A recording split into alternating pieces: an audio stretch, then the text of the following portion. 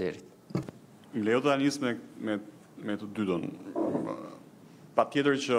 ka qenë një angazhim i i, i kahershëm i qeverisë, Ministrisë për Evropën dhe Punë të Jashtme apo gjithë mekanizmave institucional që ne kemi, përfshirë edhe Agjencinë për Diasporën, në radhë parë për të nisur me identifikimin e numrave të shqiptarëve kudo ku janë. Është një proces i vështirë. Është një proces i vështirë jo nga ana, jo vetëm nga ana teknike, por edhe nga fakti që shumë motra dhe vëllezër bashkatdhetarë nuk regjistrohen. Dhe ne po përpiqemi do fillojmë dhe fushata të riregjistrimit. Ka pasur një proces angazhimi përmes e-Albanias ku numrat kanë qenë tepër modest. Po ekstremisht modest, mos gaboj, kanë qenë rreth 8000 shqiptarë që janë regjistruar, ndërkohë që ne dimë shumë mirë që ndoshta 8000 shqiptarë mund të ketë një qytet në në në Francë, ku nuk është një komunitet shumë i madh, pa thënë numrat në Itali apo në Greqi apo në Gjermani apo në në Britani të Madhe. ë uh, Është e rëndësishme që te ky proces të jemi të gjithë vetëdijshëm nëse dëshirojmë që të kemi angazhim të diasporës dhe vetë diaspora e shumë e respektuar duhet ta ta maksimalizojë përpjekjen e saj për tu për tu identifikuar ku është, sepse në këtë mënyrë të gjithë do të jemi në gjendje të kuptojnë se ku jetojnë realitetet e shqiptarëve, ku kemi mundësinë për të për të bërë më shumë dhe patjetër edhe për edhe për historitë e votimit e me radhë. Ë Nga ana tjetër, kemi një angazhim shumë serioz edhe me diasporën shqiptare në përgjithësi, me shqiptarët e,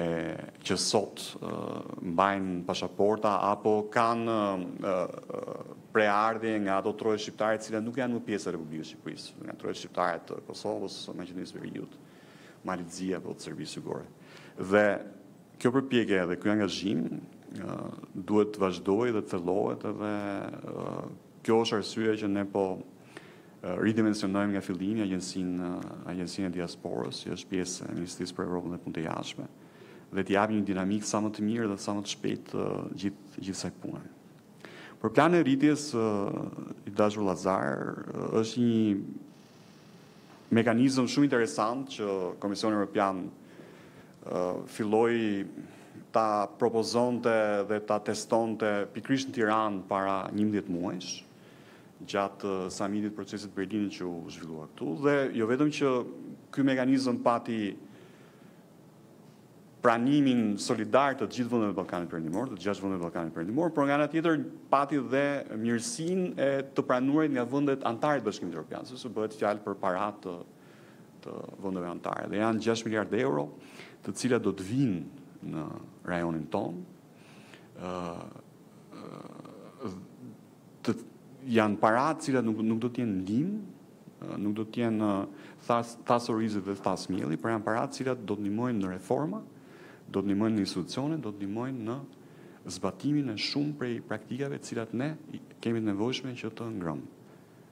Ë kryenegociatorja, ministrja e shtetit ka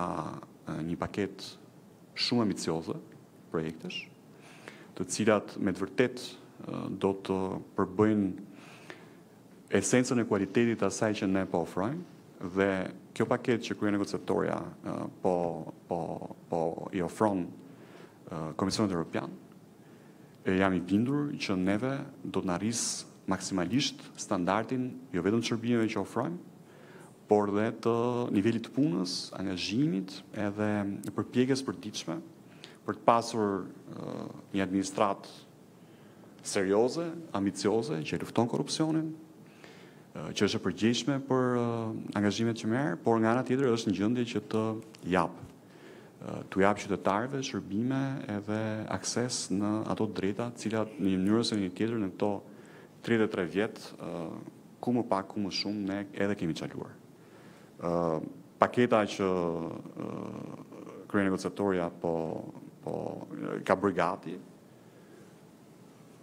unë ju ju sugjeroj ta ta takoni, është vërtet impresionuese dhe Edhe do të bëjë do të bëjë një ndryshim që do të ndihet shumë shpejt.